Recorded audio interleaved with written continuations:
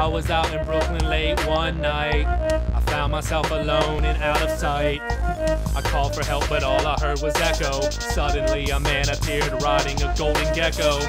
He gave me a stick of Big Red to chew. It was dead delicious, and before I knew it, he said, Join my gum gang. It's got lots of benefits. Robbing citizens of chewables since 86. You'll be my main dude. I'll take care of you and maybe share a few sticks of cherry chew. Hell yes, I finally initiated. Riding on my gecko chrome tail, got the body painted. I'm a gum thug now, too ashamed to even give my mama a hug, cause now I'm all about that winter fresh.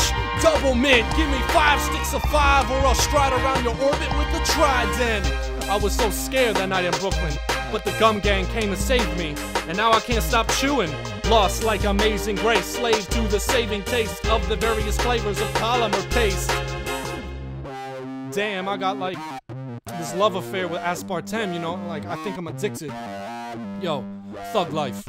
Gum gangs and geckos. Gum gangs and geckos.